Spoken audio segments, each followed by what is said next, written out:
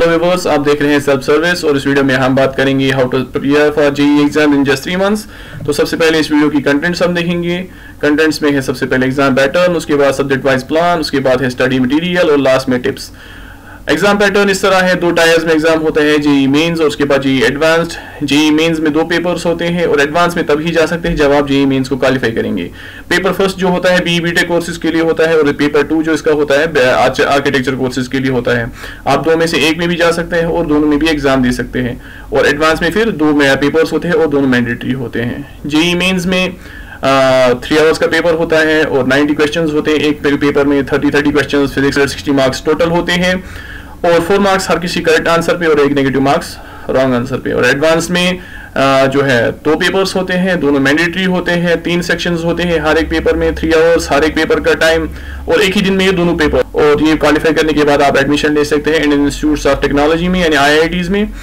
अब subject wise plan पे आते हैं। हम सब्जेक्ट वाइज प्लान में सबसे पहले आप देखेंगे सिलेबस अच्छी तरह से सिलेबस को पढ़ेंगे। जो चीज़ें पढ़ने की है, वो पढ़ेंगे। जो चीज़ें छोड़ने की है, वो छोड़ देंगे।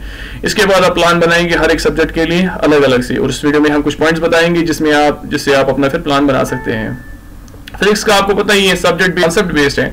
इसमें जितना ज़्यादा आपका कॉन्सेप्ट स्ट्रांग होगा, उतना ज़्यादा पेपर अच्छा करेंगे। अगर आपके कॉन्सेप्ट वीक है तो आपके आप पेपर भी अच्छे से नहीं कर सकते।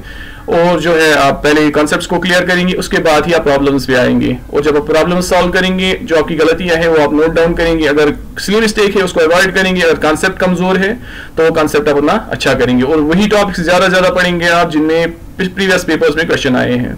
और केमिस्ट्री में फ़िज़िकल केमिस्ट्री कॉन्सेप्ट्स और उनके एप्लीकेशन पे आती हैं उसी पे ज़्यादा एमसीक्यूज होते हैं, इस पर आपको ज़्यादा टाइम लगाना है। ऑर्गेनिक में कॉन्सेप्ट प्लस क्राइमिंग इसमें रटा भी साथ साथ माना जा रहा है। और इनऑर्गेनिक में जो फैक्चुअल ज़्यादा है, उसमें कॉन्सेप्ट कम फैक्ट्स ज़्यादा होते हैं, उसमें आप कोऑर्डिनेशन केमिस्ट्री में थोड़ा ज़्यादा ध्यान देंगे और पी ब्लॉक में ज़्यादा ध्यान देंगे। ओवरऑल जो आप देखेंगे ऑर्गेनिक और इनऑर्गेनिक में ज़्यादा आपको रटा ही मारना है। फिर मैथ्स मैथ्स में जितनी ज़्यादा प्रैक्टिस आप करेंगे, उतना ज़्यादा अच्छा आपके लिए है, उतना ज़्यादा पेपर में अच्छा करेंगे। और जो है प्रैक्टिस का दूसरा कोई अल्टरनेटिव है नहीं मैथ्स में। वो जितनी एक्सप्रेशन है, वो आप ट्राई करें, ज़्यादा से ज़्यादा आप जबानी ही याद करें।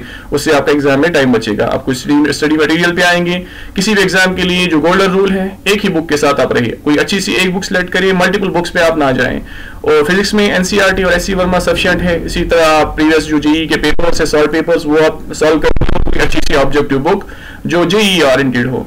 और इसी तरह केमिस्ट्री में जो आप देख रहे देख रहे हैं, कुछ बुक्स का नाम मैंने स्क्रीन पे दिया हुआ है, ये बुक्स आप कंसल्ट कर सकते हैं। इसी तरह मैथ्स में आर डी शर्मा और प्रीवियस पेपर्स इसके बाद कुछ टिप्स एंड ट्रिक्स जो पढ़ाई का टाइम है, इसको आप स्लॉट्स में डिवाइड करें। से आपका अगर 10 घंटे का पढ़ाई का टाइम है तो आप दो दो घंटे या तीन तीन घंटे का स्लॉट बनाएँ। और उन स्लॉट्स में आप बिल्कुल डिस्ट्रैक्शन जितनी भी है सोशल मीडिया है फ़ोन है, घर वाले उनसे बिल्कुल आप अलग थलग रहेंगे।